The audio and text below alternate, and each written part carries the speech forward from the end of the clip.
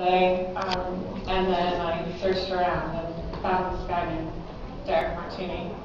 And um, he helped me make this character not a complete villain. He wasn't sharpening a knife on his teeth at the very beginning. And we worked together back and forth for two years with him sending me amazingly structured scenes with horrible dialogue that, that I would go in and sort of make sound like Luli and Eddie. And we did that like that, back and forth. That's exactly right. No question about that. Um, okay. Who's got questions?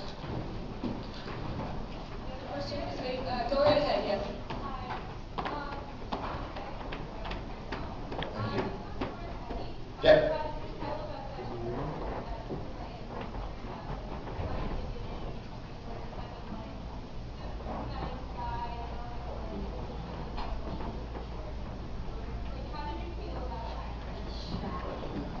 Feel about the character that you play? Um, I, I, I found it inc- him incredibly complicated. I, what, what drew me to the script immediately was um, was the was the dialogue and and um, uh, which I found riveting. But I also saw, a- a- as these guys said, that you know he could just be a villain. And um, uh, but I thought that there was also some serious damage there, and either you play a caricature that that wasn't in the writing. So we, we worked a lot at. Um, playing that, hopefully, if an audience can be seduced by him and then repelled by him and pulled in and out and constantly, oh shit. That's someone actor's word on stage. But,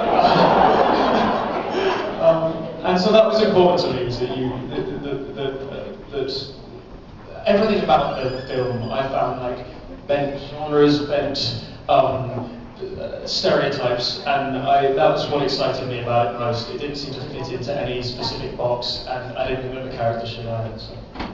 All the red carpet when you're ready to answer. Back up, please. Uh, who's next? Yes. Just wave your hand if you have a question.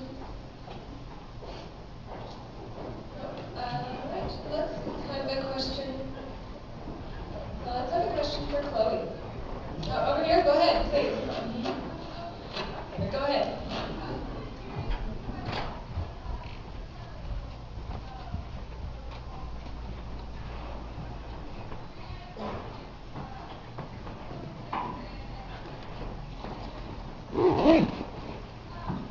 That's a good question. Well, we're trying to get Chloe's character and Eddie's character together. It was pretty romantic, yeah. Up to a point.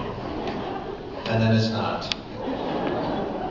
But yes, we did work on that, and that, uh, my, these two actors here really, um, I mean, the strategy was to go in and not, um, not have the two of them, uh, you know, I, I think, I'm trying to, I'm searching for words here, but I think the most important thing was that, you know, it's not, uh, he was not a cardboard villain, it's very important, and, you know, he's a handsome fellow. That's right. He's very charming too, smart guy, charming guy. and um, you know, it's yeah, we worked very hard to uh, to sort of deliver what you just said. So that was your interpretation of it, and I think that's actually really interesting. Yes, ma'am.